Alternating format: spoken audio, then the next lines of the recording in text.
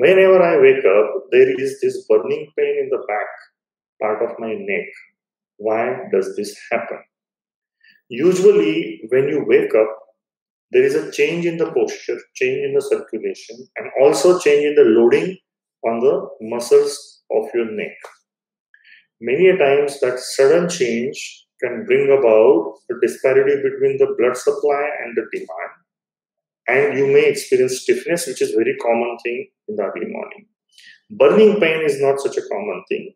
That pain, very few people describe as a burning pain. But usually, burning pain, which we call as causalgia, is a sign of reduced circulation, reduced vitamins.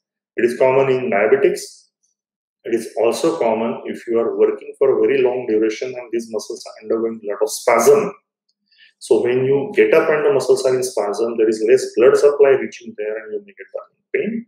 So check your vitamin levels and consult a physician or a specialist before embarking on certain stretching and exercises and postural correction. But I'm quite sure with just a few supplements and exercises, your problem will go completely. If there is a pain early morning when you wake up, you also need to check on the kind of pillow that you are using. One of the commonest causes of neck pain is improper use or using an improper pillow. Remember, most of the time when we sleep, if you're using pillow, the neck is remaining in a bent or flexed position.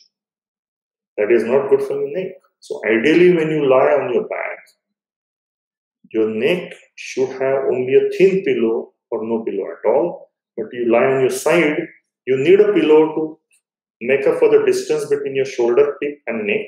If the pillow is less, it will remain tilted. So make sure your posture during sleep is proper.